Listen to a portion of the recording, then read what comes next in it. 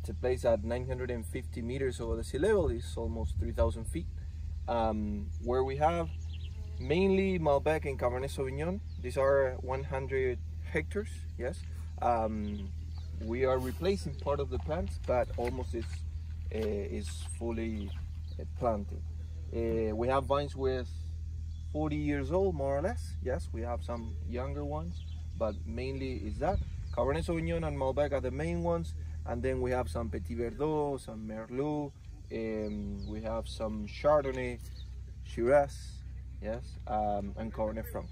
Mm? Um, the vines are reproduced in this system that we have right here. That is the most traditional way. is taking one of the arms underground and then we have a new plant. Yes, this is the most traditional one, but the less used. I don't know if you've seen this before.